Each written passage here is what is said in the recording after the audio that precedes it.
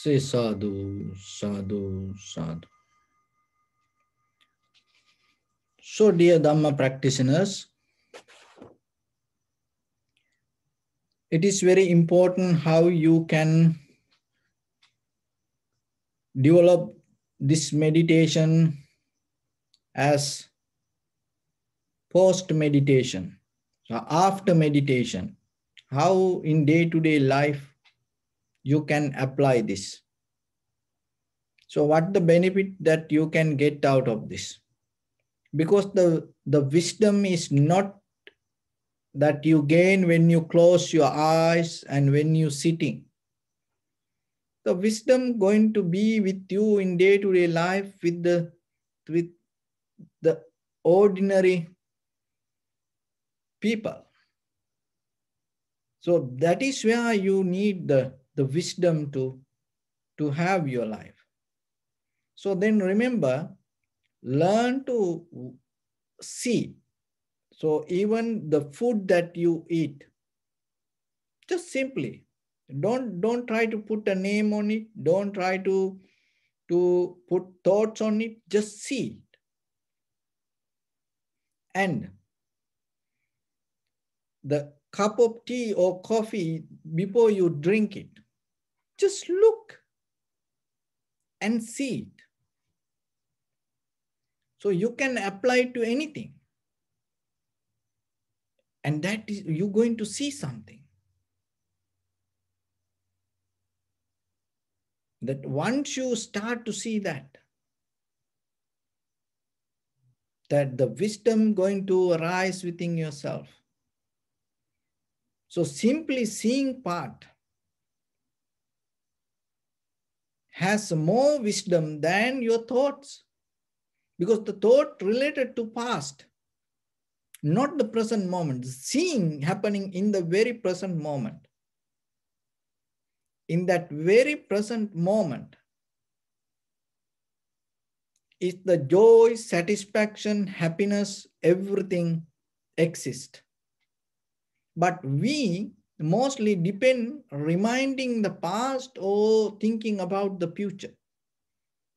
That satisfaction is even though in the moment you have kind of like a good feelings, it feeding to your emotions, but that satisfaction cannot be longer. So then you have to repeat it again and again and again. But in the moment that what you gain through recognition or the understanding, you gain a different kind of satisfaction it is not different than that the reminding or something like that. it is more stronger a better version of that so then always remember in day-to-day life even the, the, the, the pillow you keep your head just see it before to use that sleep tonight. Just see. Or the bed or the bed sheet or the, the towel that you use to when you have a shower or the the the brush that you use to clean your teeth toothbrush just see it you going to you going to recognize something that recognition is very pure authentic, organic. That is what you need. And it is not from books, from lectures, from sutras or from Tripitakas or from any other holy book. It's the simply within yourself, within your own experience, in the moment you gain, gain it. It has more beauty it has more comfort within that. So that is a that is a the the method in tranquility meditation. You start to to to engage with the things because that this get get get into something and recognizing it and being with it. And we, we always do it. See that every day you go, you sleep on the bed, and not only at night, maybe the daytime. The couch you sit, the cup you drink your tea, the plate you eat. But you don't, you don't see the, see the cup or the plate or the bed or the pillow or the, the towel or the, the toothbrush, you don't see it. But you use it. So then when it come to the moment, day by day, day by day, day by day, it bring the clarity to understand that whatever around us, and there is a nature within it,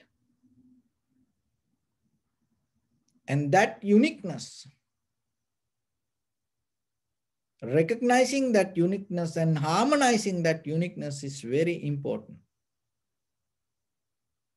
That is where you get out of the self centered mind.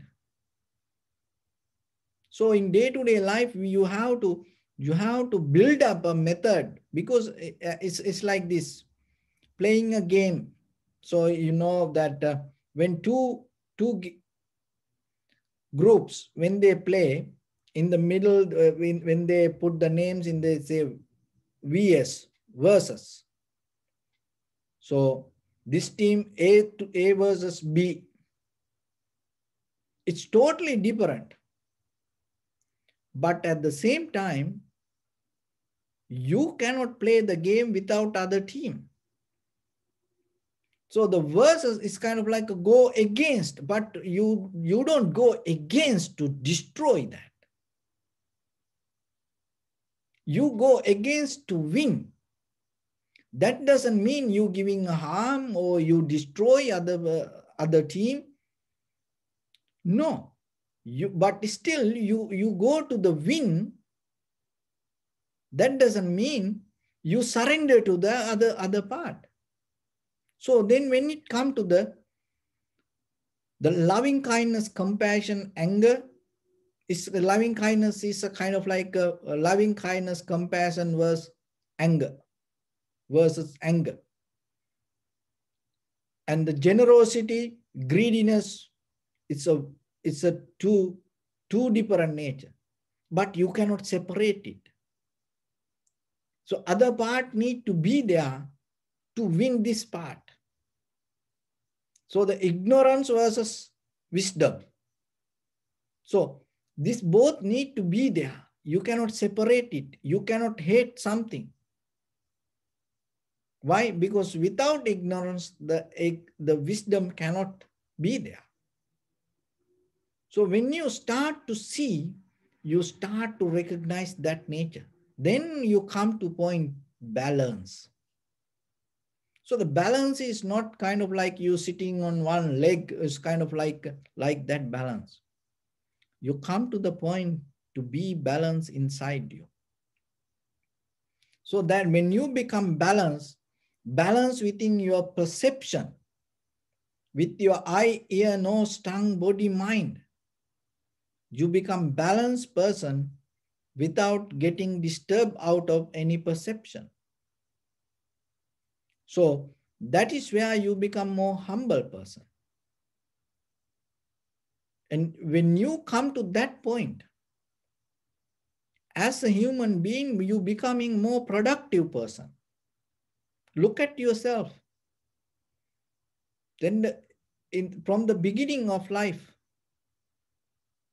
to today how many things that you had you had opportunities and you had dreams you had ideas to do good things. But any that anything didn't happen. Why? Because you get disturbed out of a lot of things on the way. And because of that disturb it affect for your creativity. And all the abilities destroy when you get disappointed, unhappy, sad, worry, like that. So if you lose your balance, it, that you lose it out of your own mind. Uh, but you think it is from outside. And you lose the balance within your yourself and you destroy inside you. You just become ordinary person. That's it. So remember, in day-to-day life, as a as an ordinary person, you have many kind of capabilities. There are different different versions in you. So sometimes the best version you never saw in your life. You didn't see it yet. Why? Because of the disturbances that whatever happened in you, you gave more priority to to handle with that rather than becoming more free from it. So then what happening? That disturbance is giving you different kind of versions to you. Now you are different kind of person inside. But deeper, there is a the better version in you. So when you practice this samatha meditation and this vipassana meditation, what is happening? The your best version you're going to recognize. That is very important. The, that is the that is where that you are hidden the gift going to be. Because once you come to the the moment to recognize your best version, and you become more comfortable within yourself. That is where you're going to find the balance. That is where you find the inner comfort. That is where you're going to find the trust within yourself. And you're not going to depend from outside. Others' opinion not going to be your reality. Why? Because you find your balance inside. How? Because now you recognize your true version. So get into that.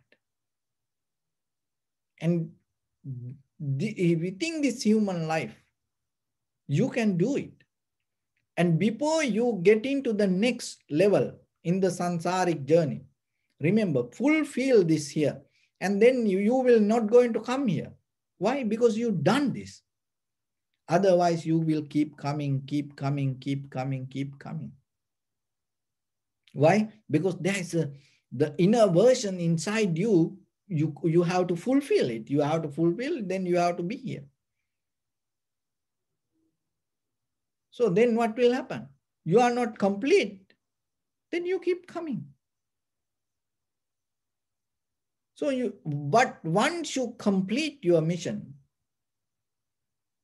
there's no, it, it naturally you release from it. So you, you promote to, you get the promotion to the next level. So in tranquility meditation also the same, that when you able to 100% see something anymore, that there is no desire to hold it to it. Because you see it. But if you don't see it, half open, half cover, and you it, it not allow you to see the truth. Then you keep keep running behind the sansaric journey. Why? Because you didn't see it. And when there is no the completion that the inner satisfaction then what will happen? There is always fire. That fire create the thoughts that thoughts is create the desire. Because when you repeat the thought again and again and again and again it becomes the desire. And once the desire is there you are helpless. You it is kind of like a current. It's a different kind of a stream. So in the the wisdom level the the sotapan also is a kind of like a stream you jump to it, your method that the, your practice going to take you. But another that we are still in the other side of the, the stream, the samsara stream. So when the desire is there, when you reminding, when there is a gap, when you don't fulfill who you are, when you don't not find your real version in you, you will always keep running, keep running, keep running. There are two kind of ways that conventional life and eternal ways that we try to fulfill this.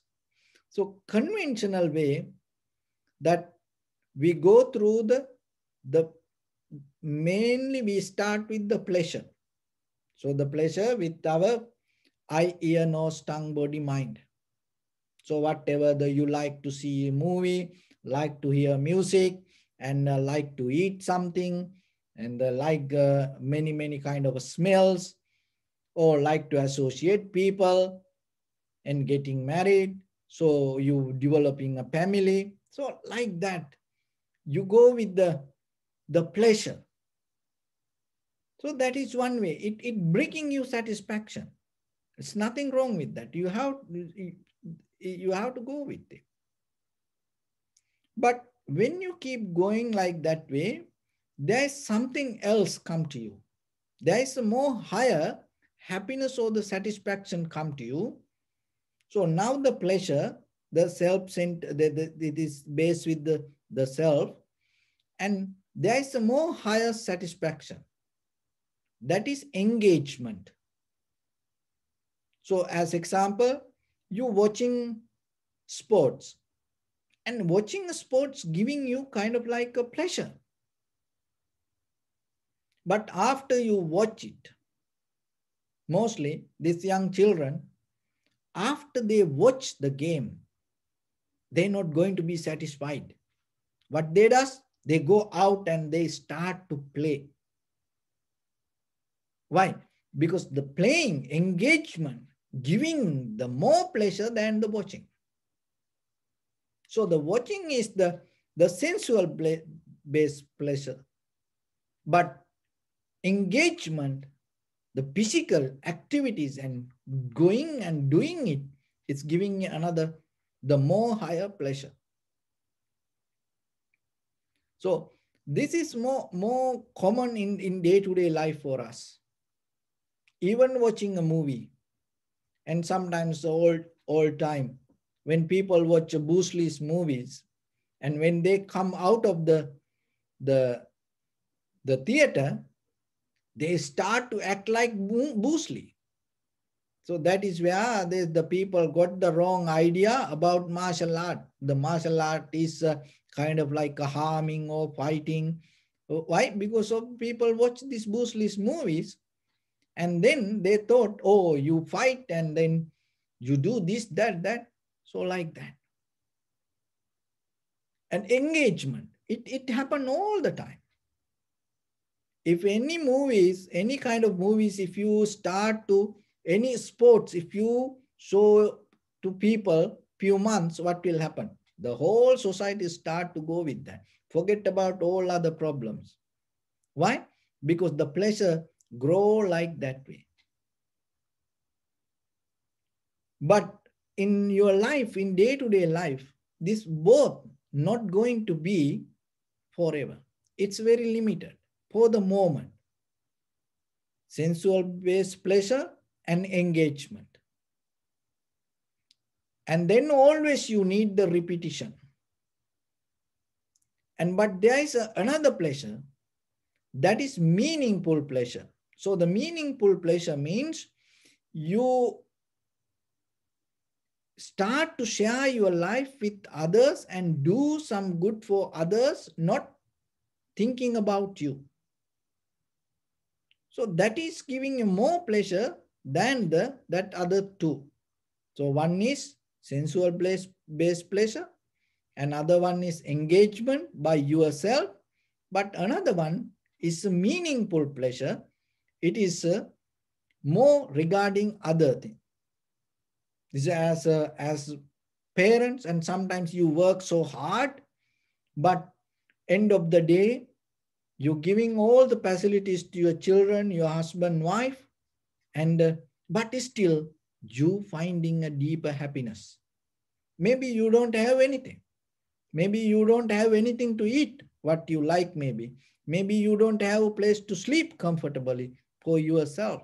Maybe you give up your whole personal life but still you feel contentment. So that also there. So these three kind of stages in satisfaction always conventional. But through meditation, we're not going to address or, or trying to make it more meaningful to conventional life. There is a deeper satisfaction and happiness and the pleasure in you. This all three things important. It is conventional. But when it comes to spiritual, this all the happiness, satisfaction, this meaningful engagement, that's everything still is the nature of your mind. That is what called dharma. Dharma is kind of like this. Listen this very carefully and try to catch the idea. If you catch this, you get this. So dharma, mostly we think it is a idea from somebody. Oh, Buddha taught this and we learn this and that is dharma. So that is that is a kind of dharma. But the real dharma is the, the, the all the teachings in you, it's already inbuilt. There is no way into your heart that you can that uh, that uh, take something or put something new. You already in Dharma. Only thing that teachings can activate it. So Dharma is that whatever you hold is called Dharma. That is the very basic meaning of the Dharma. What you hold as your life is Dharma. So what when we say we learning dharma means what? Hmm? We try to brush up that what we hold. We try to uplift what we have within ourselves. Otherwise, don't think even this samatha meditation practice, the vipassana, doesn't mean there is something we going to put into you. No, that what we does, we try to open that our heart and our mind and our whole entire body and our awareness and drop all the unnecessary things. So then the dharma means what you hold. So when it come to that, the happiness, satisfaction, comfort, the mostly See that in the very first level, the pleasure, that it always need the, the outside. Because it need the, the environment, it need the object, you, it need your body and the object and the, the environment. So as example, you want to eat uh, ice cream. So 30 years old person and one year old boy or girl, child, it eating it in a different way. So that's mean according to the body, when it come to the, the pleasure, you need the body and the body should be in a right level to absorb it. Otherwise, it's not going to recognize. It, it cannot handle. That's why like uh, alcohol, cigarettes, it not allow for children because they cannot handle it. So like that, when we go with the pleasure, remember, the, our body need to be prepared for that. Otherwise, we cannot get it.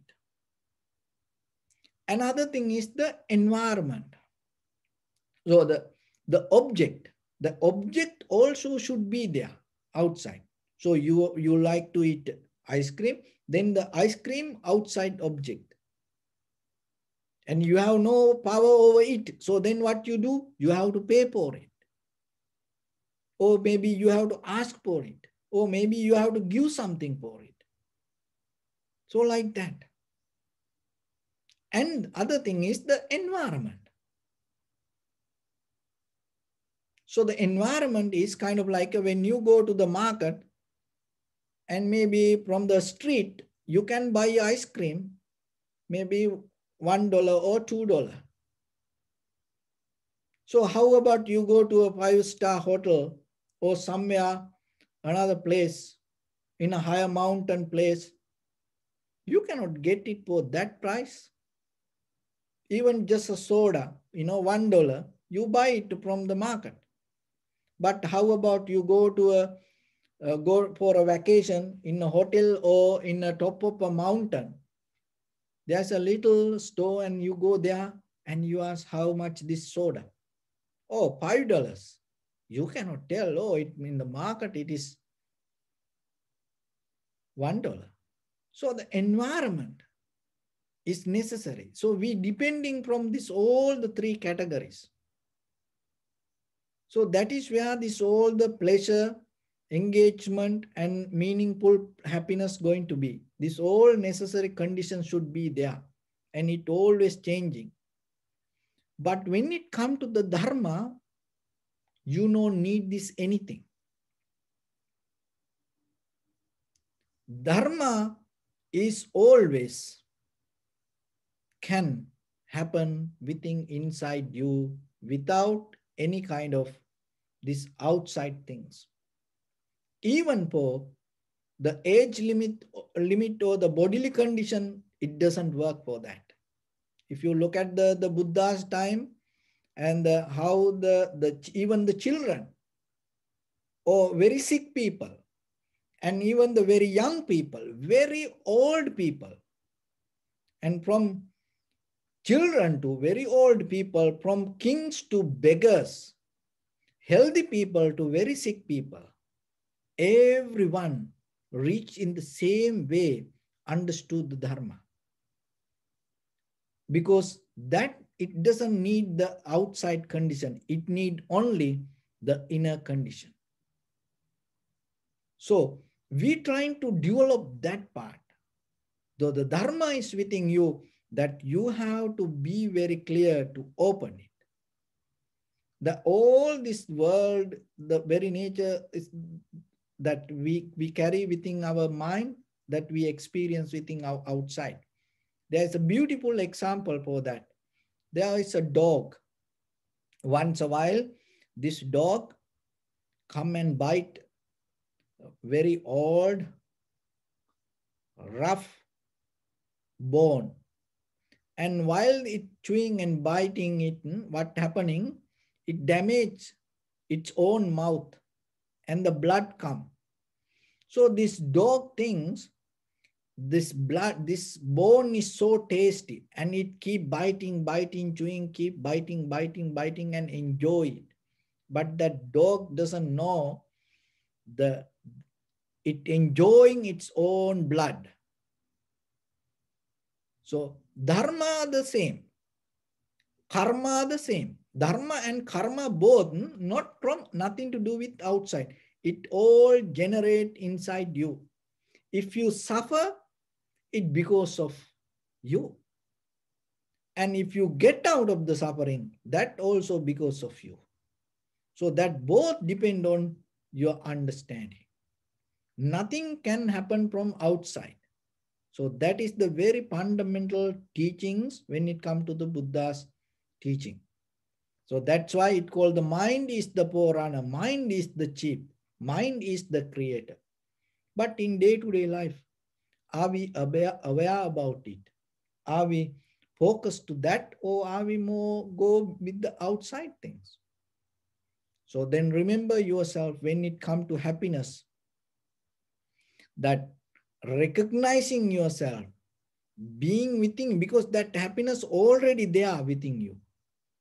That uh, the, in the first level that what I explained through pleasure, engagement, meaningful happiness, that all the, the three ways, what you try to do, you try to somehow get it out but through meditation, without this anything, there is a way you can go and touch that happiness.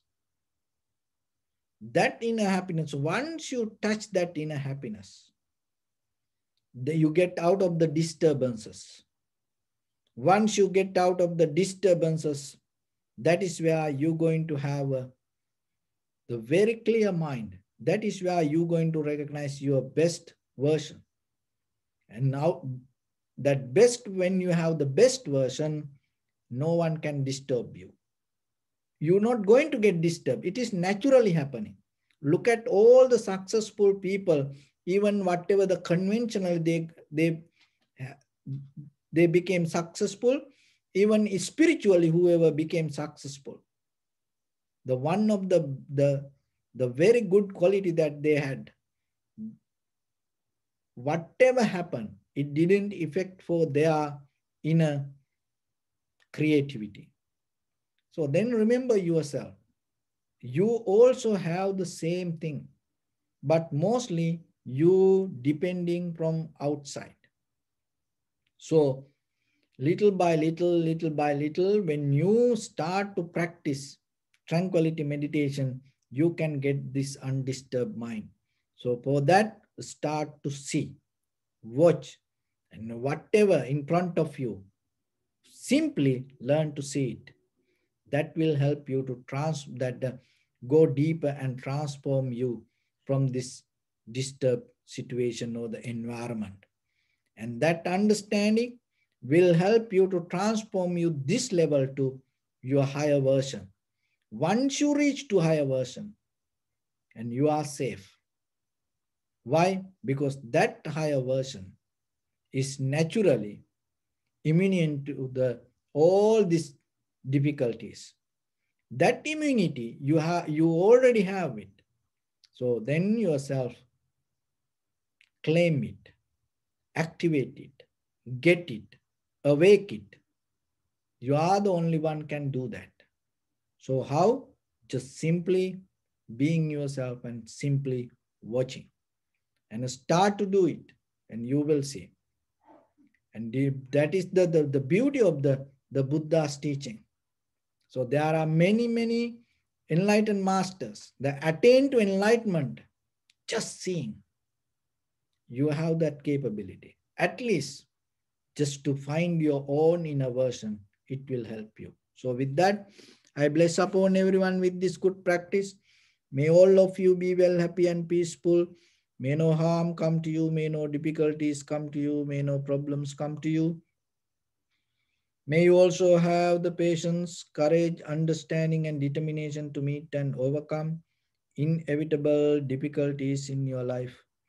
During this time period, May everyone stay healthy and safe. And finally, may all of you attain supreme bliss of Nibbana. Sabbityo vajjantu sabbarogo vinasatu mate bhavatantarayo sukhi digayuko bhava. එත්තාවතාච අම්මිහි සම්පදං පුුණ්්‍ය සම්පදං සබ්බේ දේවානුමෝදන්තු සබ්බ සම්පත්ති සිද්ධියා. සබ්බේ භූතානුමෝදන්තු සබ්බ සම්පත්ති සිද්ධියා. සබ්බේ සත්තානුමෝදන්තු සබ්බ සම්පත්ති සිද්ධියා. ඉදම් මේ පුං්ඥකම්මං ආසවක්කයා වහං හෝතු සබ්බ kapamunchatu. Bless you.